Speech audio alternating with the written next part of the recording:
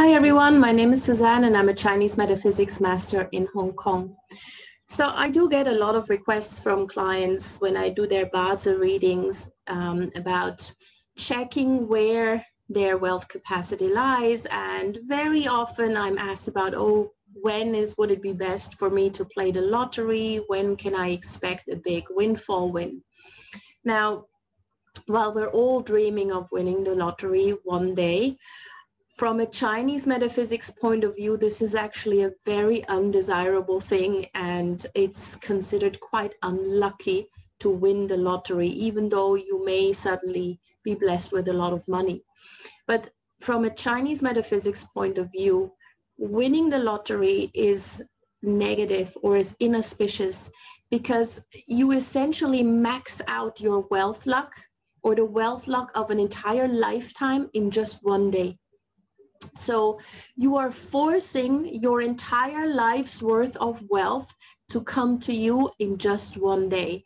And after that, nothing else will come.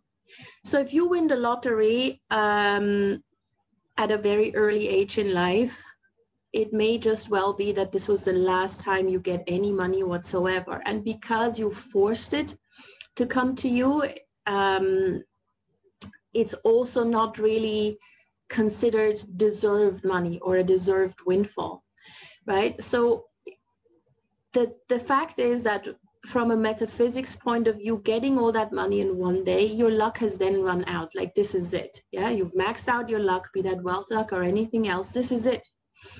And this is why very often you read about these lottery winners in the newspapers and you know they're very happy of course they win millions of dollars.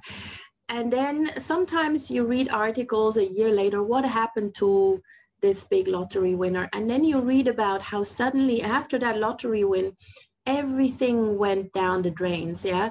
Maybe they suddenly lost a close relative or they got really really sick and had to basically spend all that money to get healthy or they in some other way they lost that money in a very very short amount of time.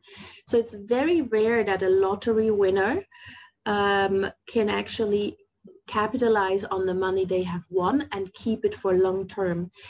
In most cases from a metaphysics point of view especially if it's not yours to take in one day from a Bazi astrology perspective the your rest of your life is then just going to be full of obstacles full of problems that you will have to solve by using up all the money that you have won.